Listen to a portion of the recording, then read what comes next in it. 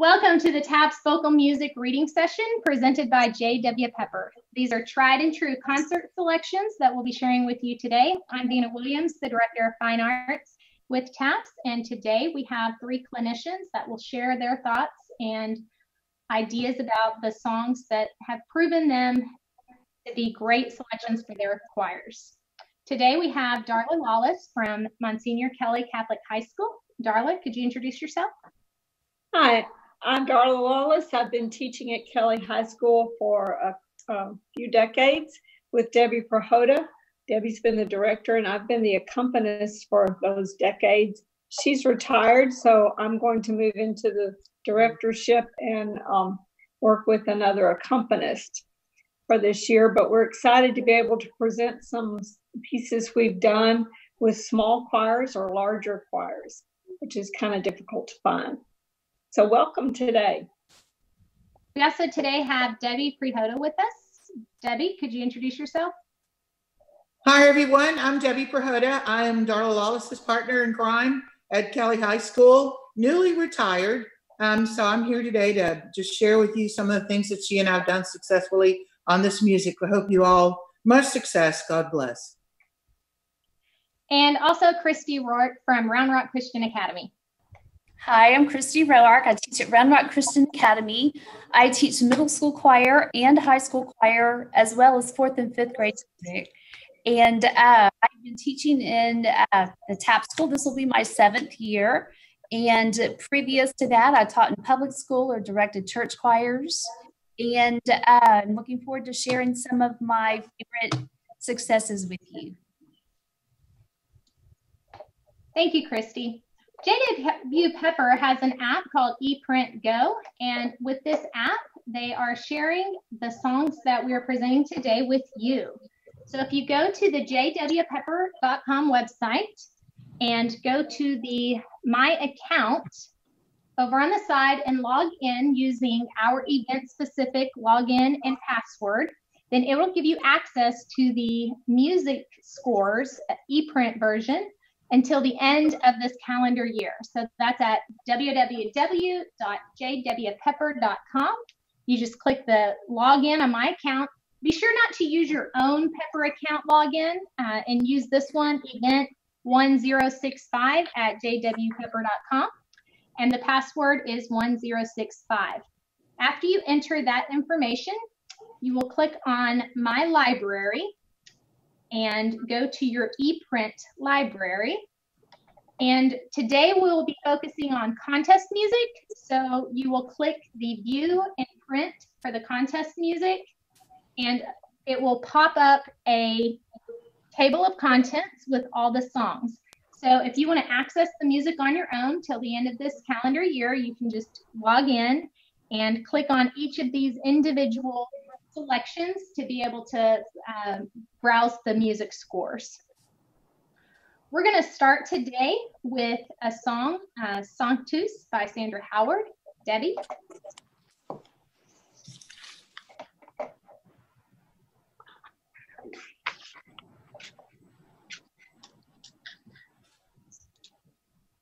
Thank you. Yeah. Um, and, and again, guys, we're hoping to offer to you some of our favorites today the things that have been most successful, um, you know, uh, as we take them to contests and as we take them to concert and as we put them uh, on the stage, things that will help your small choirs to be successful.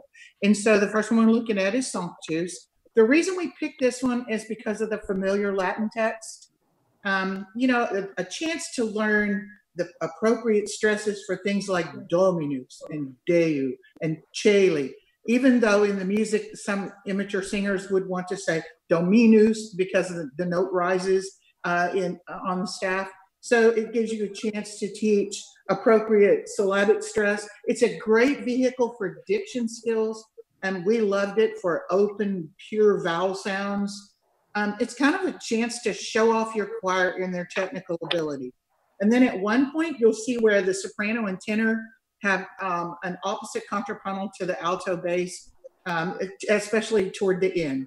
Listen to especially measure 42 to the end. This is Sanctus by Sandra Howard.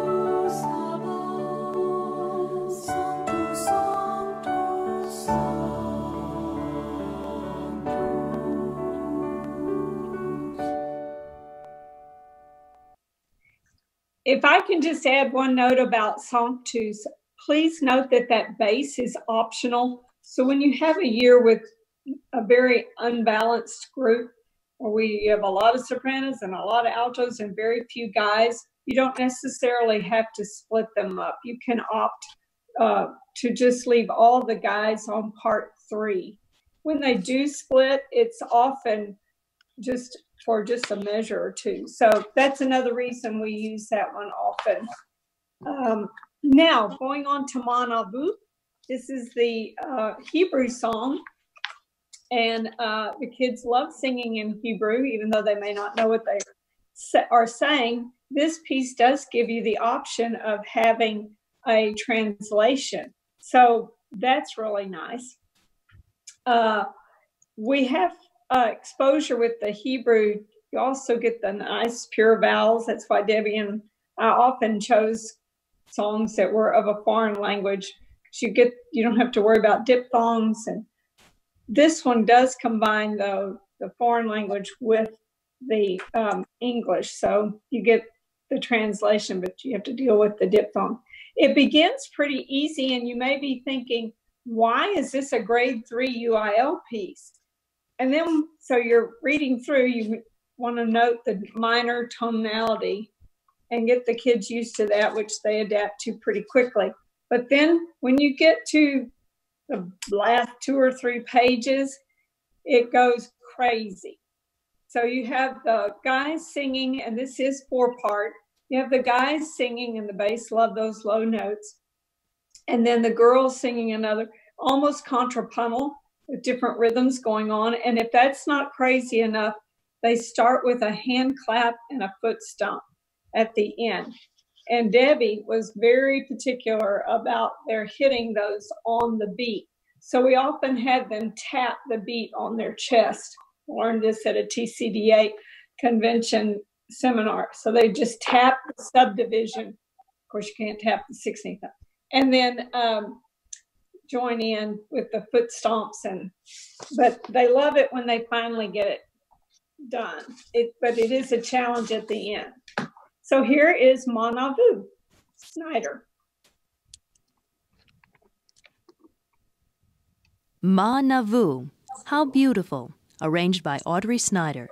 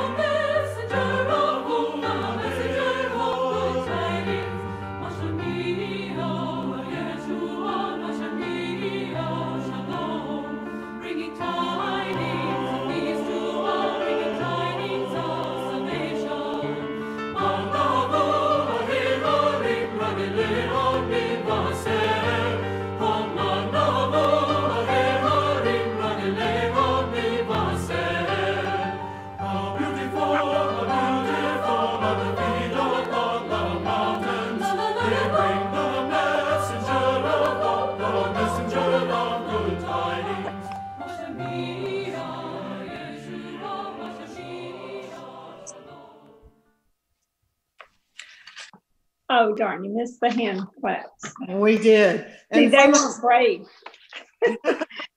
They were from picking on that recording. standpoint, you need to, um, you know, that's a perfect chance to teach uh, correct note values because, you know, sometimes they want to rush and cheat on the, the actual note values and also about following the conductor, especially if your conductor has a strong downbeat.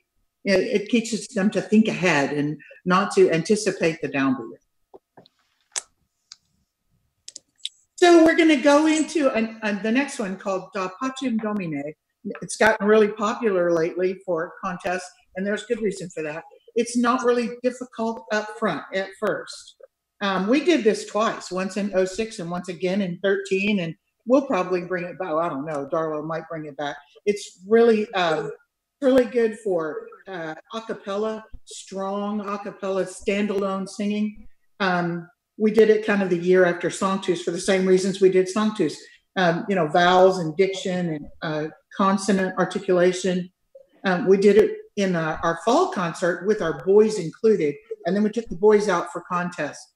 And the girls' large treble group um, offered this as their a cappella thing. Um, let's hear Da Pacem Domine. This is Mary Getz. We're going to bring in another Getz arrangement a little bit later for you, too. Da Pacem Domine.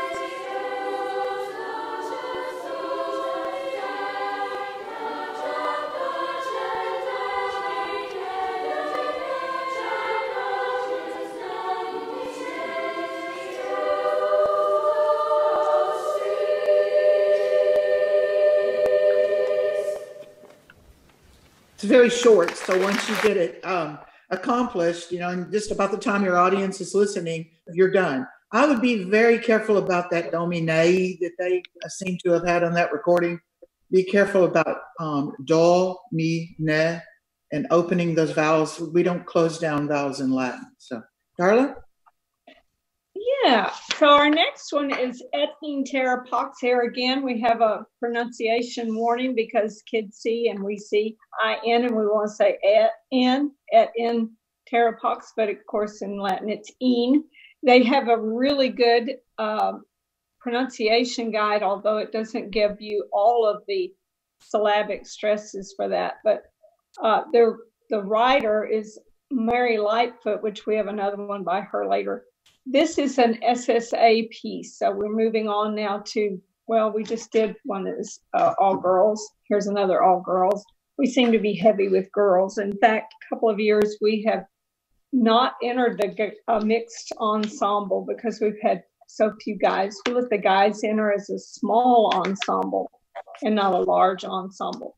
But Et in terra is again a good Latin text that's common to many uh, sacred music pieces and uh, gives them a lot of opportunity to learn some melodic phrasing and growing and shaping those phrases. So they start out with a held note. They know it has to go someplace. So they can uh, crescendo and decrescendo within those phrases. And that's what we like most about this piece is just that ability to, to shape the phrases. One word of warning on this, the alto parts get pretty low, which thrills the altos because they get to show off that chest voice, but careful not to let them become belters with that. There are some uh, leaps that are pretty tricky uh, that are unison. So there again, word of caution on that. That's at measure 27.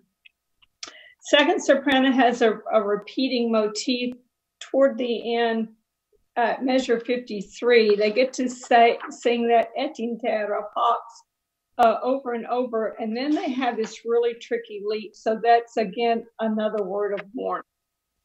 But it's a lovely piece, and it's also available in SATB, which is also a grade three. This is a grade three as well.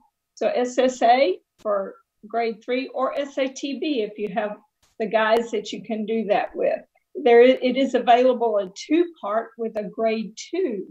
So many adaptations to this piece that was written in 2008. Let's listen to Et in terra Pax.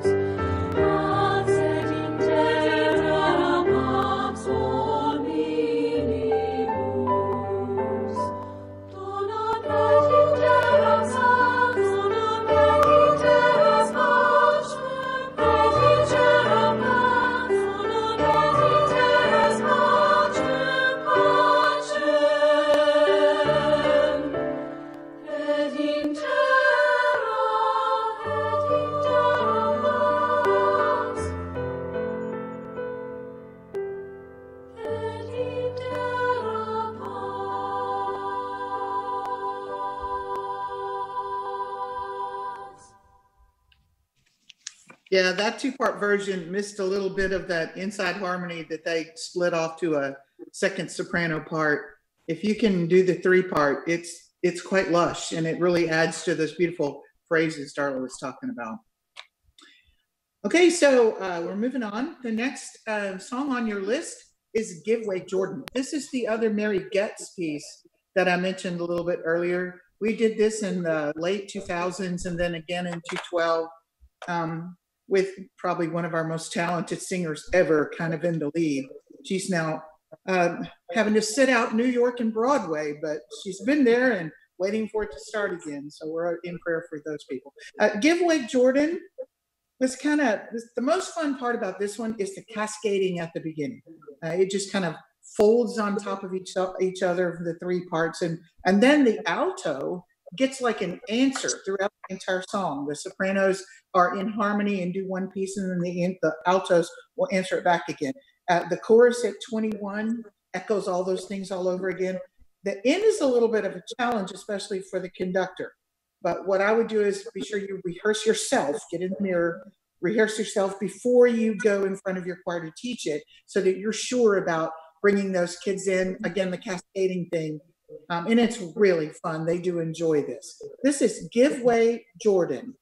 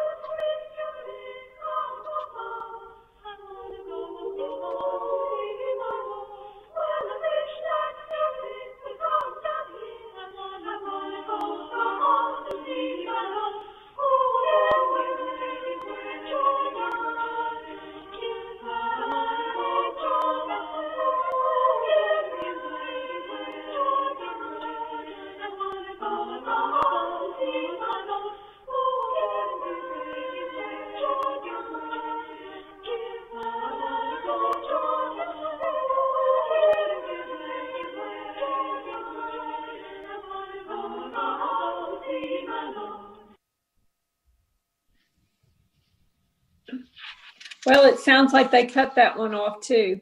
Your accompanist won't have trouble with that one. That's the good news. Although it was very hard for me to sit when we were in competition because I couldn't do anything, just sit and listen and pray. Uh, the next piece we're going to look at, we're now switching to some um, men's pieces. We're going to start with another Lightfoot, Mary Light, Mary Lynn Lightfoot piece, a Jubilant Gloria. This one is so much fun. The guys don't like it at first because the rhythms are switching, but when they realize that they can tap the eighth note on their chest, I don't like to tap the feet because that creates a sound. They can tap the eighth note on their chest and then it doesn't change. The eighth note stays constant. So it may be one, two, three, four, five, six, one, and two, and three, and so that helps quite a bit. And then they feel quite accomplished after that. We actually took this as a small ensemble, even though it's a TTB. We took it with eight guys because when it does split with the tenor, it, it's not for very long and it's not very difficult. Uh, at the end, the tenor does get up kind of high, so you got to make sure you've got a guy who can really hit that G, treble G. Uh, but most of the time, tenors are together and basses are together, and it's just a fun, fun piece with the um, changing meters. So, uh, and you don't have to worry much about diphthongs again. So we have those pure vowels. It was uh, a pretty successful piece for our small group of guys. So it is a level two. You can then enter that as a small ensemble I think Rena may have to correct me. If you're a, a as much as a 4A school, you can enter a level two as a small ensemble. So this might be an option for you.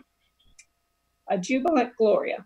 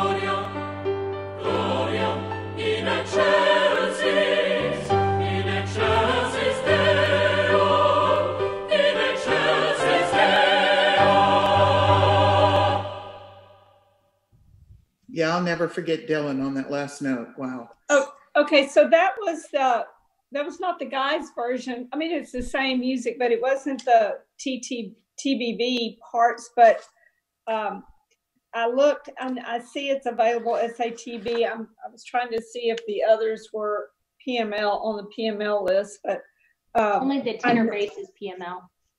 Yeah, I think that's the only one that is. I don't know. I, I was trying to check real quickly and it wasn't working with me. But good option for a small ensemble, or if you are lucky and fortunate enough to have a large group of guys, take it with a large ensemble guys. Now Let Me Fly was uh, written by Linda Spevacek. Um, she is a prolific writer. I know you all know her compositions already. And like that last piece, this one comes in all varieties. I mean, you can, as a level three, it's TBB and SSA and SIB and SATB. We took it with our guys. Um, so, because the bass has the melody and they're feeling all strong and, and mighty. The tenor gets this wonderful divisi just before the key change, and then they take over the lead.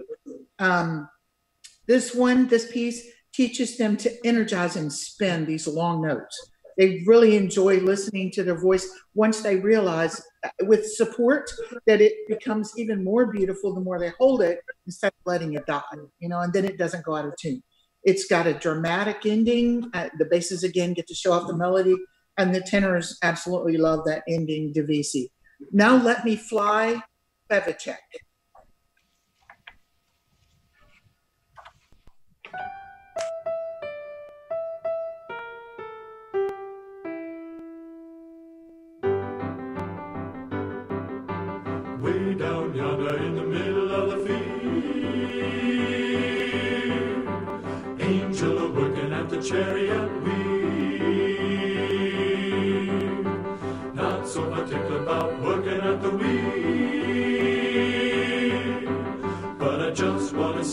the chariot feet. Now let me fly.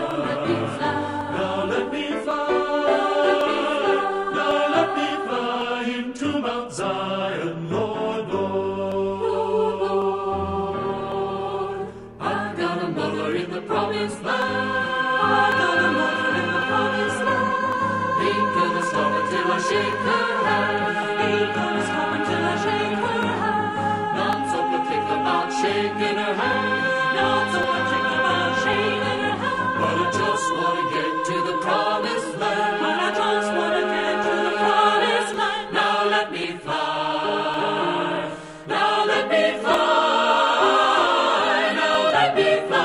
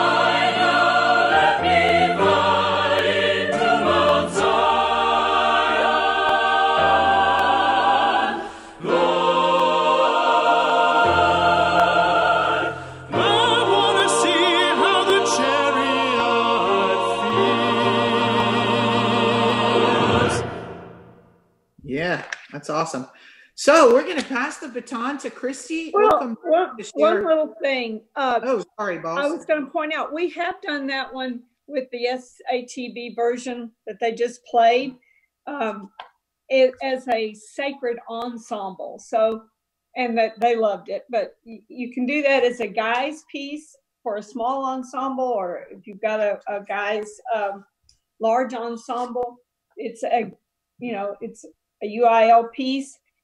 Or you can do the four part, the big with the full group and it says sacred ensemble because you don't have to have a UIL piece for that. PML off the PML. Sorry. Christy. Hello. I've enjoyed those songs so much. So good. Oh, the first one that I'm going to talk about is one that I actually sang in middle school choir when I was in middle school choir. So this one has just stuck with me for, I would say, 40 years. I will be walking around my house singing this song. And when a tune is that much of an earworm, you know it's a good thing. And when I was in middle school choir, I think I think if it had not been for middle school choir, I would have never been a choir director because that is when I fell in love with just that choir sound and the harmony. At the school that I went to, we had a really good girls choir and the boys choir was separate, but honor choir, you know, that was the first time you got to hear that four part harmony. And um, my first year there, we had the privilege of having Dr. Bev Henson as our honor choir choral director. So it was it was just like magic. And I still remember us working on all the crescendos and the decrescendos. And um, it was just so much fun that I think uh, this is definitely worth taking a look at, even though I'm sure it was brand new in the year that I sang it as a kid. now it definitely is tried and true because it's still around. Um, some things that I remember learning then as a student um, are things like no two notes are alike and making every word different than the one before, every dynamic level a little bit louder than the one before, and that no two sections of a song are going to be alike. And I remember this quote as well if a composer can write a crescendo, he surely knows enough not to write one. So it's very specific. If there's not one there, you don't do it. If there is one there, he really, really wants you to crescendo. Uh, it gives students, even though it is a class two, there's still a lot for them to work with. They get to sing lots of half steps in this. There's uh, chromatic phrasing at the bottom of page five. Um, there is still a key signature. And then what I particularly love is the 5 4 meter at the bottom of page seven, because I think that's a real challenge. And there's something about 5 4. I just love to find a song that has a section in 5 4. Um, I think it's great for beginning bass singers because they do stay on do a lot. Um, but it's just a very singable bass part. And that tends to be the section in my choirs that we spend the most time working on for some reason. It's always the bass section. Love their little hearts. So let's listen to Walk in Jerusalem Just Like John.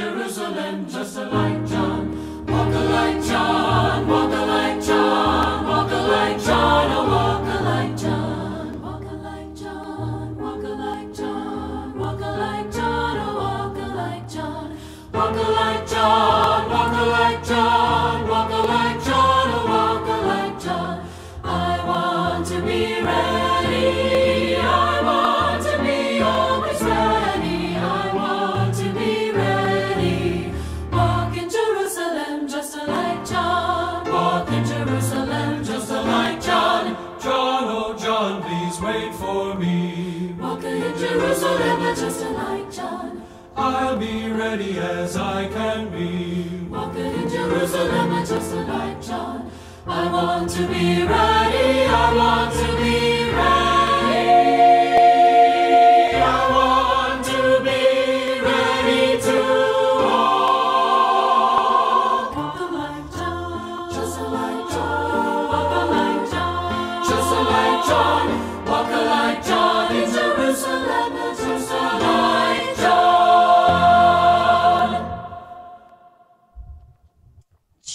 just like John. And um, you know, when you listen to the demo voices, there's always so much more than you could that you can really do with it than what you're just hearing those voices do.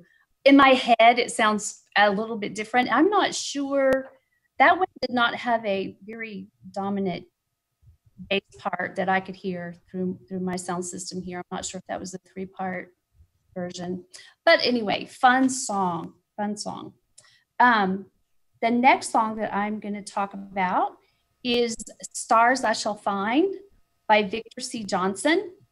Um, this is a song that I have actually done with middle school choir.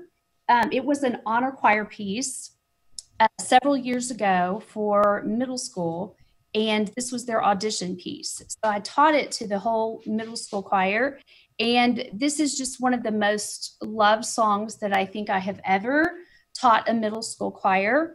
Um, and I had a large number of kids make the honor choir, and so they got to perform it. Now, our springs here at Round Rock Christian are just very, very busy because we have, um, you know, solo ensemble with TAPPS is pretty usually late in March. And then we're, you know, into April for the large ensemble contest, the large choir events. And then we do our musicals at the end of the year in May. So that time of the year, we are just working on so many things at one time. So I try to find as many pieces that we can take to contests at the end of the year that we can start learning earlier in the year. And I know that's contradictory, and I've heard choir directors at conferences say never start teaching your concert pieces or your contest pieces early in the year because you're going to have a different sounding choir second semester than first semester. But with our situations, sometimes I just have to risk it and try to find some pieces that we can include in our Christmas concert that we can also do for contests. And this is a song that I think fits in with Christmas very, very well. Actually, my middle school kids that year sang it as part of their Christmas concert, and it was definitely a favorite. Um, the lyric, um, Sara Teasdale, I mean, her poetry, it's it just sparkles. It just absolutely sparkles. Um, and I love that there's so much musicality to work on. There's ritards, there's working to sing with building motion. And then when you get to that broadening section, uh, that big moment at the top of page five, and it goes to some five part harmony there. That's really good for your developing second sopranos. And I do love a song that is accessible, but yet you get to those places where it does have some five part harmony. Um, this was just very, very loved. And my kids don't know it yet, but I'm fixing to be bringing this back for high school. So some of those that were in middle school are fixing to get to sing it again uh, at a whole new level of musicality. So let's listen to Stars I Shall Find.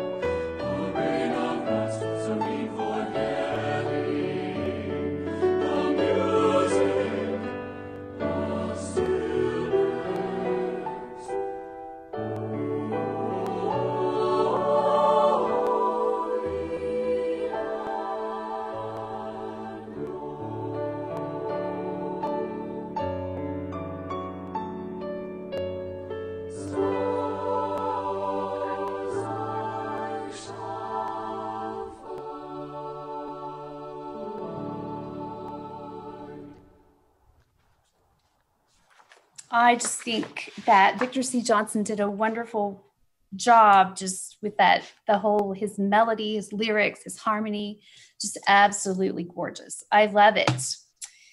Um, the next piece I want to talk about, Hear My Prayer by Moses Hogan.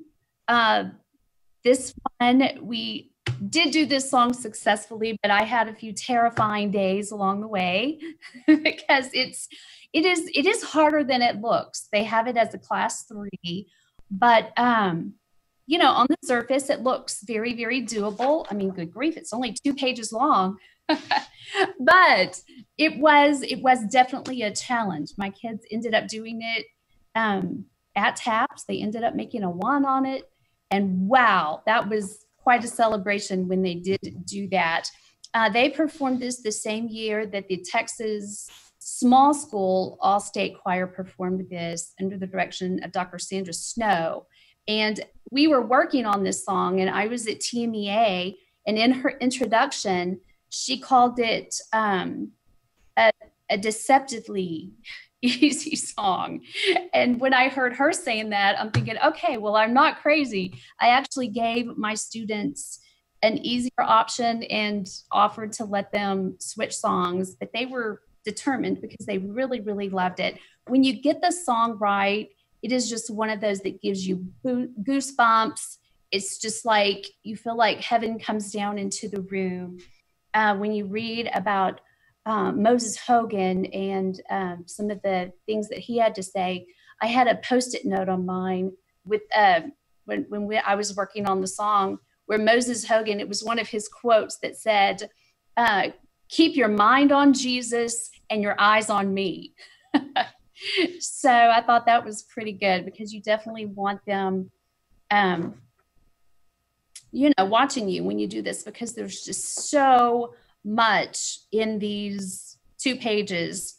Uh, one thing that you really want to do is be sure that you have the basses to rumble, to do that low E flat and hold it stagger breathing.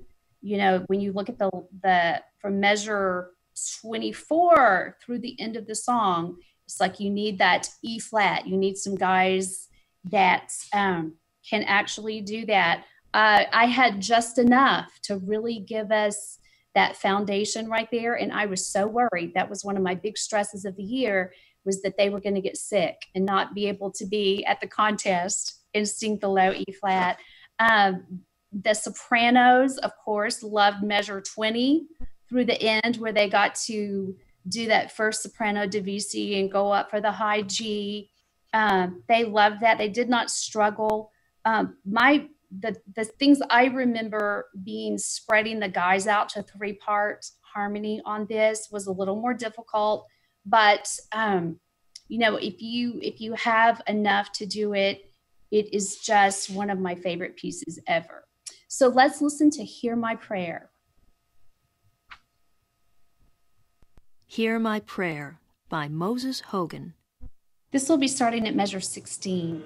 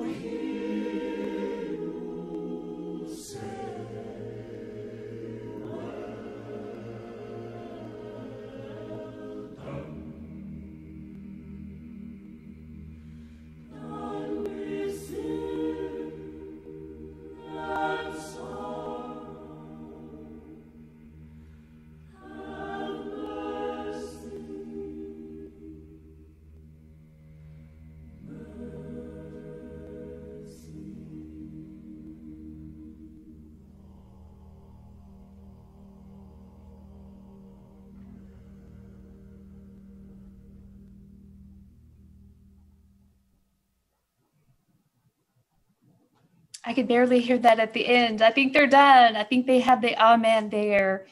Um, if you can uh, find maybe on YouTube the Texas All State Choir uh, doing that song, it's definitely worth worth listening to. Okay, a big change from that song, but still with um, sacred lyrics, uh, is God Be in My Head by Andrea Ramsey. Um, I've done this with a very young beginning girls choir before. And uh, this is actually one that I'm going to start working on this year because I love the text so much.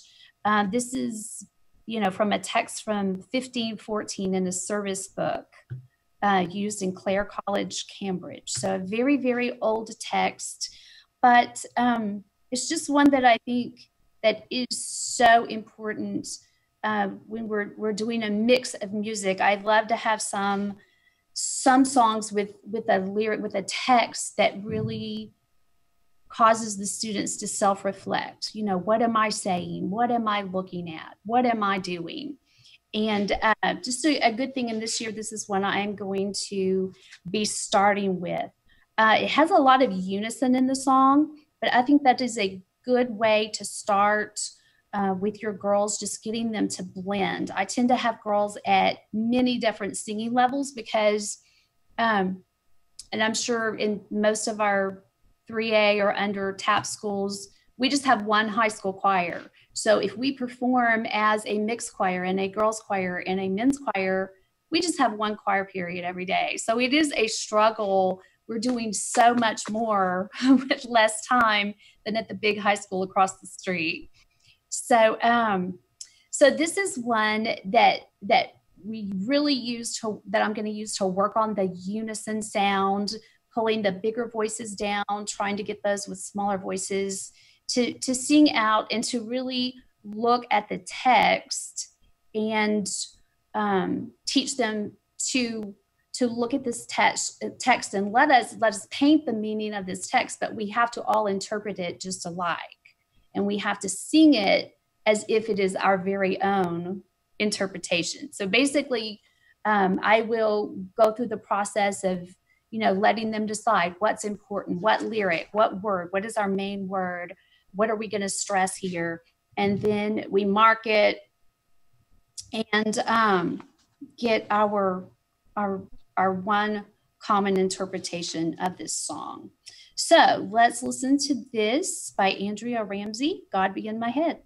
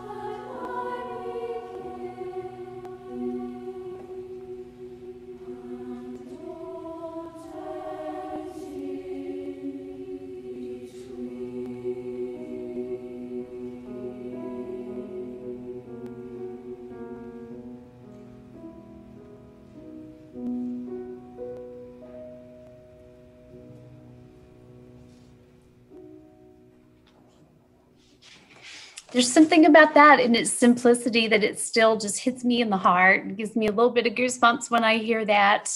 Um, you know, these kids are going through so much right now with are we in school? Are we out of school? Are we online? They missed so much last year. You know, there's a lot of our understanding, so many things we don't understand. So I think we need some some songs in hand going into this year that give us a chance to talk about what might be on their minds and what might be in their hearts as students. The next song is um, probably the all time favorite of treble choirs that I've done. We did this a couple of years ago. Heart, We Will Forget Him, with uh, words by Emily Dickinson and music by Laura Farnell. Um, the girls, you can imagine high school girls, they have almost all experienced some heartbreak. And somehow the choir I had that year, this was just something that they loved to sing about, something they liked to talk about because of the actual poem of Emily Dickinson. It was never when I said heart and it was time to practice this, nobody ever, ever complained. It was their most exciting time of the choir period. Um, we did have to work on breathing a lot. It has a lot of beautiful, long, long phrases. I have heard it said that the most beautiful distance between two points is a curved line. And of course, that means the beautiful phrase that you can make with um, lines of music. So, this was really, really good for developing their breathing and their support. Um, what, another thing that I remember that we had to work on was finding unison. I believe it is at measure 19. I think it's one example of where they come back to unison.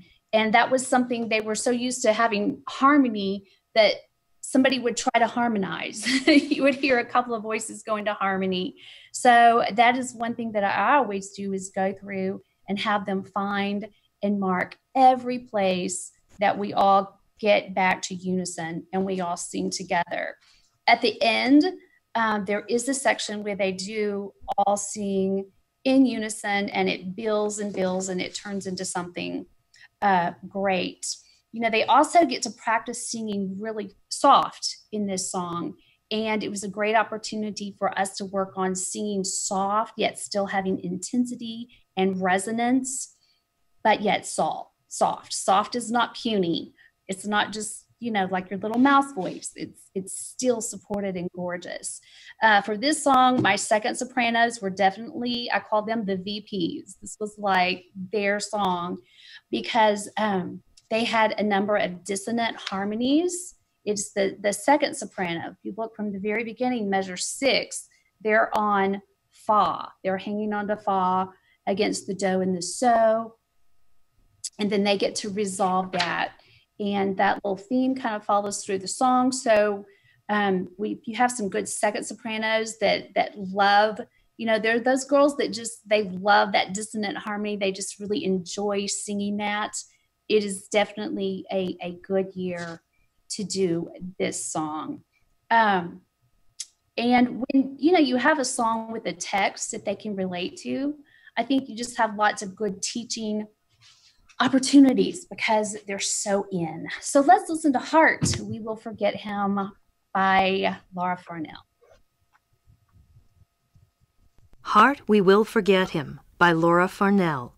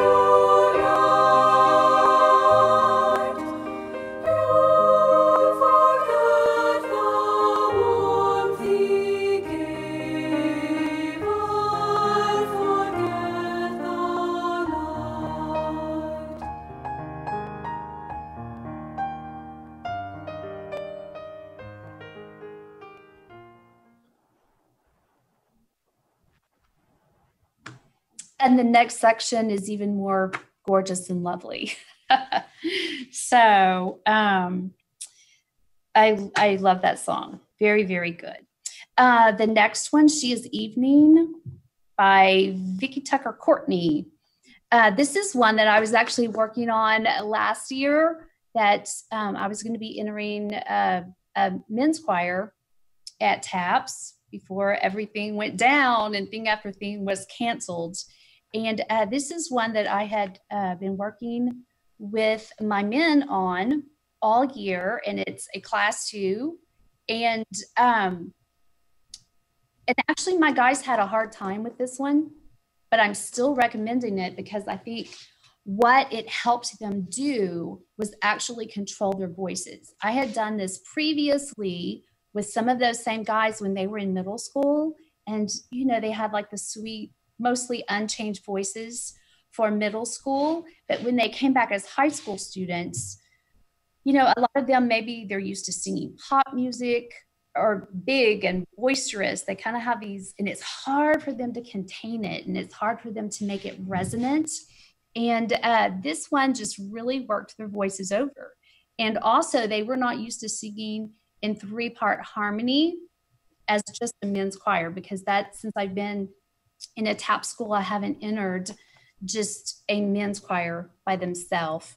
And um, so they were not used to dividing. So this was good because it gave those second tenors, you know, they had to step out and sing something by themselves, but not all the time, just sometime. So over the year, they got better and better. They got more used to just containing their voice and um, I would not recommend this if you have really low basses because it doesn't have a really low bass part. There's no low E flat to sing, like in Hear My Prayer. But if you are missing the very low voices, um, it's it's very good. And of course, if you had you know just a an, an advanced middle school boys choir, it would be perfect for that. But I have found that a lot of advanced middle school pieces that are SATB or the TTBs or the three part girls, they do work really well for my my choirs because I do have so many students here that are just at so many different levels. I have kids just come in that don't read music at all. Um, you know, it's it's just its own little little animal. So let's listen to She is Evening.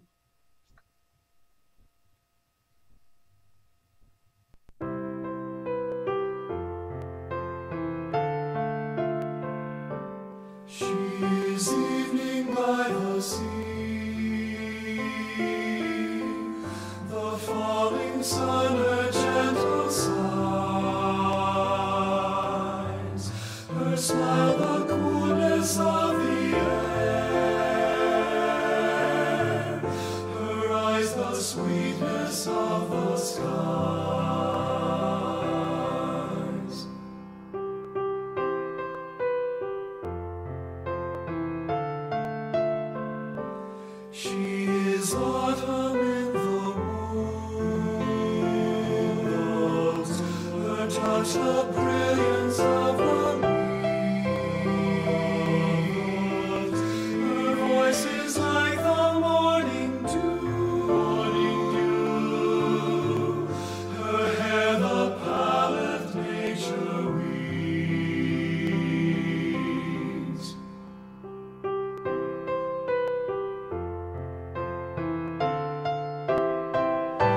like gazing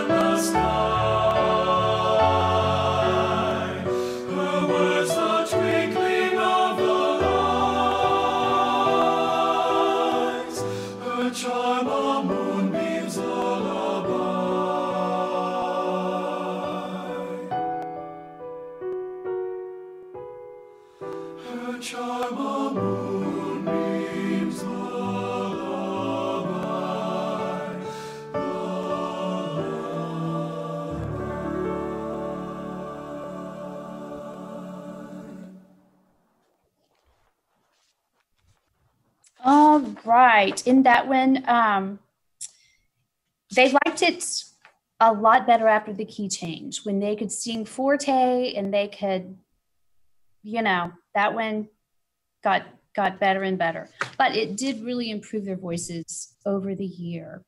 Um, the last one that we're going to look at is uh, Cantate Domino. And this one on the PML, you can do this a cappella as well as with accompaniment. So you have the choice on that. Um, this one, I consider this to be a bass VIP song. Um, you know, most of the time they're kind of stuck in harmony unless they're singing melody with everybody else. But this one, the basses do, you know, they do the entry. They're they're first up to introduce the melody, and it's joyful. And actually, this year, I'm planning on us doing this for our Christmas concert, and uh, probably do it a cappella because I think all of our concert opportunities this year, we are going to look for outdoor places to perform. So I'm going to try to do as much a cappella as possible this year with the whole COVID and uh, social distancing and singing. So this is one that we are going to start working on this year. And um, I just have the highest expecta- expectations for it. And um, love Laura Farnell, obviously, as you can see with things I have picked today. And uh, I know that it's probably all things that you are familiar with, but I think it's just still good to get somebody else's take on it and how their kids reacted to it. So let's listen to Cantate Domino. Cantate Domino by Laura Farnell.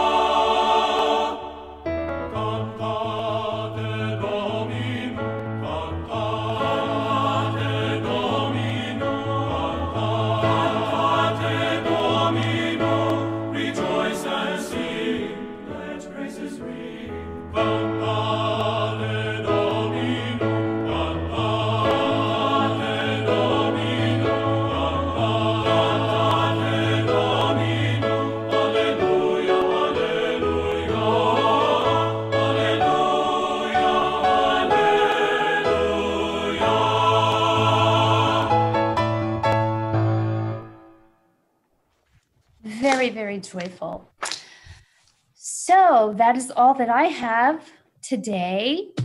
This has been fun. Awesome. Well, look now, if everybody, if you're not so tired and your ears are not bleeding because all that music was wonderful, uh, at the list that Vina has included for alternates. Um, these are here because we don't have recordings to share with you, but JW Pepper in their infinite library does have them.